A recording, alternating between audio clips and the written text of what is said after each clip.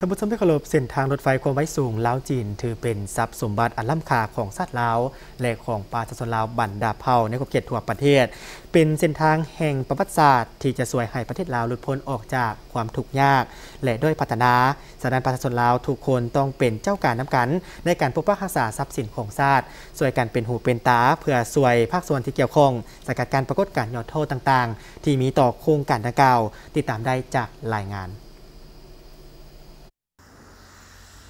มาฮอดปัจจุบันโครงการก่อสร้างเส้นทางรถไฟควบไว้สูงลาวจีน เกือบสำเร็จห้อยส่วนห้อยแล้วนาเวียกที่ยังเหลือส่วนใหญ่แมนการประดับประดา อาคารสถานที่ปลูกหญ้าปลูกดอกไม้และจัดสรรสิ่งแวดล้อมอ้อมข้าง แต่ละสถานีรถไฟให้มีความสะอาดและสวยงามสำหรับความพร้อมพื้นฐานด้านเทคนิควิชาการตามเส้นทาง และด้านบุคลากร ที่มีหน้าที่ให้บริการของแต่ละหน่วยงาน บ่ว่าจะเป็นการบริการในขบวนรถไฟ และในสถานีรถไฟนั้น ถือว่ามีความพร้อมในการให้บริการ ที่คาดว่าจะเปิดหับไส้มวลชนในวันที่ 2 ธันวาที่จะมาถึงนี้ โครงการทางรถไฟคมไว้สูงแล้วจีน แม่นมากผลแห่งการห่วมมือ เพื่อห่วมสถากรรมระหว่างสองผักสองหลัด และประชาชนสองชาติแล้วจีนบ่รวมวเฉพาะโครงการเส้นทางรถไฟแล้วจีน ยังสวยให้ลาว หันเปลี่ยนจากประเทศบ่มีสายแดนติดจอดกับทะเล มาเป็นประเทศเสื่อมโยง เสื่อมจอดของภาคพื้นสากล จุดประสงค์การสร้างก็เป็นเพื่อสุขยุการพัฒนาเศรษฐกิจสังคมของประเทศลาวให้ขยายตัวไวขึ้น พร้อมกันนั้นก็สุขยุการร่วมมือระหว่างจีนกับลาวก็ให้ขยายตัวนอกจากนั้นก็เป็นจีนในฐานะเป็นคู่ร่วม กับประเทศอาเซียนฉะนั้นไกประเทศลาวมันมีที่ตั้งอยู่ในใจกลางนี้กันขันท่าว่ามันมีเส้นทางรถไฟแล้ว จะเป็นการเสื่อมจอดระหว่างจีนกับอาเซียนผ่านประเทศลาวชนะฉะนั้นเว้าแล้วมันเจ็ดจำนงมาแต่เดิมของผู้นำลาวเขาก็คือผู้นำจีน และผู้นำอาเซียนมันแม่นแนวนั้นแหละมันยักสุกยุการสร้างการพัวพันหัวมือทางด้านเศรษฐกิจการค้าการลงทุนการท่องเที่ยว ระหว่างอาเซียนกับจีน ขบวนรถไฟ EMU สามารถขับเคลื่อนได้ทั้งสองทิศทาง แล่นด้วยความไวสูงสุดถึง 160 กิโลเมตรต่อชั่วโมง ประกอบมี 9 ตู้ รวมมีตู้รถไฟที่ขับเคลื่อนได้เอง1ตู้ ตู้โดยสารสั้นหนึ่งและตู้ห้องอาหาร1ตู้ ตู้รถโดยสารสั้น2 6ตู้ สามารถบรรจุผู้โดยสารได้ทั้งหมด720คน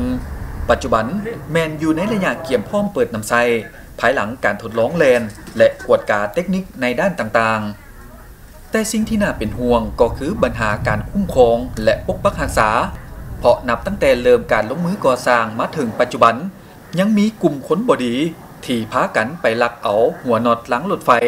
หลักตัดเอาสายไฟ และอุปกรณ์ที่มีค่าอยู่ตามแล้วทั้งรถไฟ เป็นปรากฏการณ์ยอท่อที่บกควรเกิดขึ้น ในกลางเดือนตุลาที่ผ่านมา อยู่เขตเมืองนาไซทองนครหลวงวิจันทร์มีคนไปลักเอาสายไฟฟ้า ที่ยังอยู่ตามแล้วทางรถไฟเหตุให้ไฟฟ้าสอดเสียชีวิตคาทีหนึ่งคน นี่ถือเป็นอุทาหรณ์สำหรับกลุ่มคน ที่หวังจะซอกหาหลักเครื่องเหล่านี้ เพื่อไปแลกกับเงินจำนวนเล็กน้อย แต่ถ้าการสร้างความเสียหายหลายไปกว่านั้น จนเหตุให้เวลารถไฟแลนมาด้วยความไว้สูง แล้วเกิดเหตุบ่คาดฝันเกิดขึ้น มันอาจจะนำเอาความเสียหายมาหลายร้อยเท่า ฉะนั้นเพื่อเป็นการปกปักรักษาโครงการรถไฟล้าวจีน ที่เป็นทรัพย์สินล้วนมูก็คือของชาติบริษัทรถไฟล้าวจีนจึงได้ออกแจ้งการ11ข้อเพื่อหับประกันความปลอดภัยในชีวิตของประชาชนและการดำเนินกิจการเดินรถไฟ เส้นห้ามลัก ห้ามทำลายสายเคเบิล สายไฟของทางรถไฟ และเครื่องอุปกรณ์ระบบจ่ายไฟ ห้ามทิม หรือโยนวัตถุสิ่งของใส่ระบบจ่ายไฟ ห้ามสัมผัสกับระบบไฟฟ้าสายทรงกังหาวของทั้งรถไฟอย่างเด็ดขาดและอื่นๆ พร้อมกันนั้นก็ได้เยียงห้องมายังอำนาจการปกครองทุกคัน จงเพิ่มทวีความเป็นเจ้าการ ในการยกสูงความอับผูให้ประชาชนที่อาศัยอยู่ตามแล้วทางรถไฟ เห็นได้ถึงความสำคัญของการปกปักรักษา และหักหอมทางรถไฟล้าวจีนหับประกันความปลอดภัยด้านการดำเนินการ และความปลอดภัย ต่อชีวิตของประชาชน